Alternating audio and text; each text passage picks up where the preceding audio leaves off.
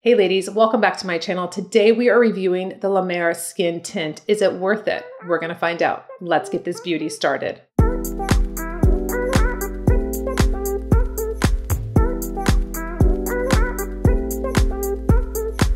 Just wanna make sure before we jump into the video that you know about my newsletter. This is how I communicate with you. This is how I let you know about really great, exciting news. We have so much going on in 2023. So I wanted to make sure that you knew that it's on the website, it's a pop-up, and we also introduced text messaging. So you can sign up for text messages, you get them right on your phone. We also have a little promo that if you do sign up for text messaging, you get 10% off your order. So ladies, let's get into the video. I am going to add my base layer of my perfume. This is Tom Ford Ombre Leather.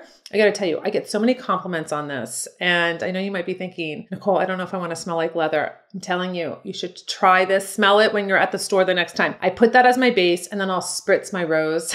my rose, any of the array of rose perfumes I have. It's such a great combination. That is something wonderful to do, ladies, is that you can create your own fragrance by layering fragrances. I do it all the time. I love it. So we are going to get into this skin tint. I've been wanting to buy the La Mer skin tint for a long time. I've been doing so many different reviews this year on different formulations when it comes to foundations. And I want you to know all kinds of drugstore, all kinds of department store. The price range is all over the place, ladies, because I'm hitting drugstore Yes. I'm hitting department store. Yes. I'm, I'm going a little bit above department store sometimes. This is really interesting to me because I fell in love with the La Mer Serum Foundation back, I think it was 2016. It was not supposed to happen because it's very expensive. And I was at Nordstrom and I was on my way out and they happened to have, like, I think they just relaunched the foundations. I don't know. She's like, oh, let me give you a sample, the sales lady. And I was like, oh, I won't like it. Plus, the price is like a little bit of a turnoff. So, of course, I tried it, fell in love with it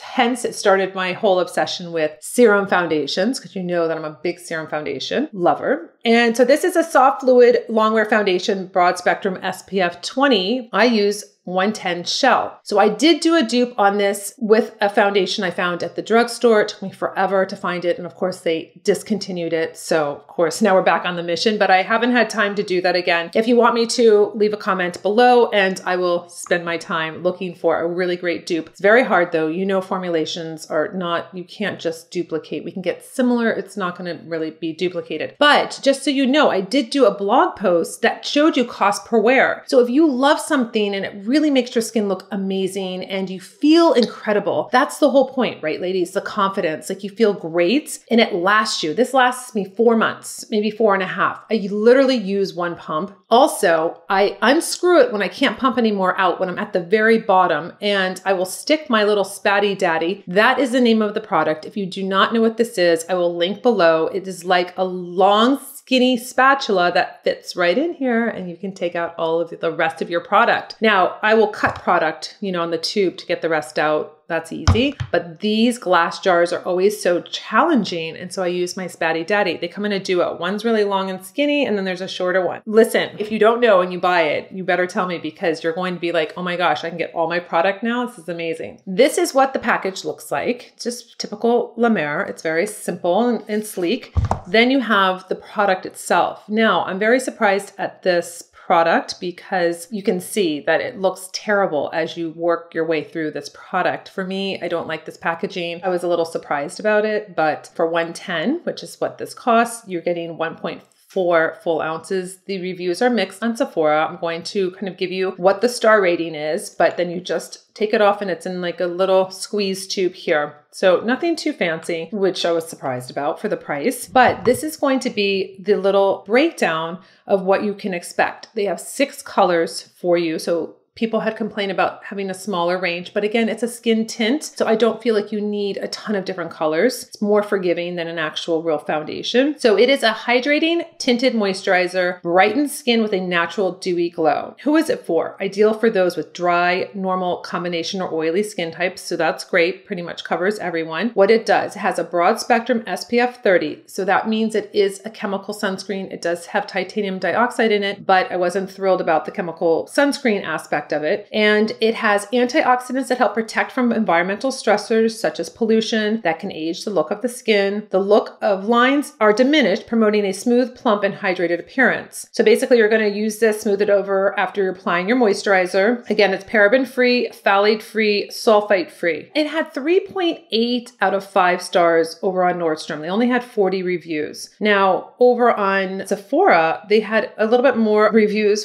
for this product, which I was really kind of surprised. I thought we would have more maybe on Nordstrom, but we had 4.1 stars. They had 150 reviews on Sephora. You know, a lot of people were like, it's worth the investment for me. Some were like, well, I don't know. I thought I expected more from La Mer, especially for the price. The color I got or I bought was light medium 32. And it's interesting because, of course, they're different formulations, but I wasn't sure how this was going to relate to what I'm used to with the shell, which is more of like this kind of pinky peach undertone to it. So I'm going to show you what it looks like swatched on the skin. Comes out really nice, doesn't over dispense, and you have a nice kind of creamy texture which I really like. So I feel like it's going to be nice and moisturizing. I don't feel like it's going to be greasy. This is very interesting because, you know, I reviewed the Jones Road Balm, which is a totally different experience and we went into depth in that video. Then I reviewed the Gucci Westman complexion drops, which I really, really wanted to love. I was just so disappointed because it, I just didn't feel that it was really a realistic product for anybody. And I did a full review on that one. The packaging is beautiful right? It's really beautiful. It's just, you know, very sleek, what have you. It just couldn't believe how greasy and like just how it sat on the skin. So this is what you would really expect from a skin tint. There's no surprises. This is what the light medium looks like the number 32. I think it looks really nice for a swipe. So let's not use the brush right now. Let's use the finger so we can really feel the texture. We can feel right away, I feel hydration. I feel like it is really hydrating the skin. What's interesting is, is that I feel like it's really just soaking into the skin right away. I don't feel like it's, it's almost like gripping the skin. I didn't put anything on my skin first. I really wanted just to feel what this felt like right away. So I'm going to put on, on this side, let's go over this redness. We have no concealer on or anything like that right now, but we are getting really great hydration. It slips nicely on the skin not too much. I didn't do that much of it, and I feel like we're getting a really nice application with the fingers moving around the face. I'm going to take a little bit more and put it on my neck so we can kind of work everything in to together.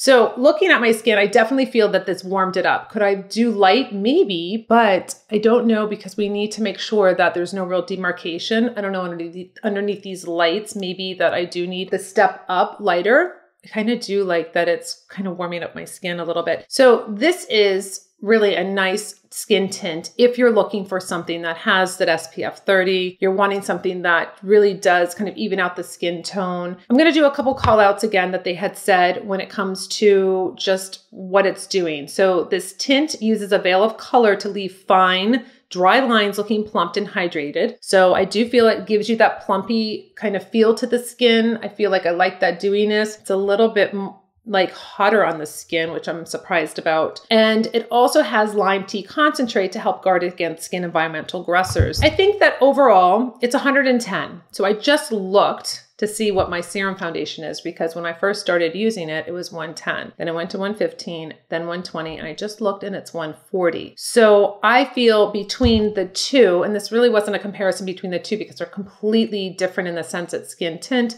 Serum Foundation, I have to tell you, I would go for the Serum Foundation. And I would just leave this alone. I find it to be a very high price for what it is. I feel that a lot of the skin tints we've tested this year together, you could find an alternative. Like I feel like they're giving a lot of great benefits and qualities. I've researched and reviewed on my channel this year. Again, you can go to my Beauty 2022. I've categorized my videos so you can check that out.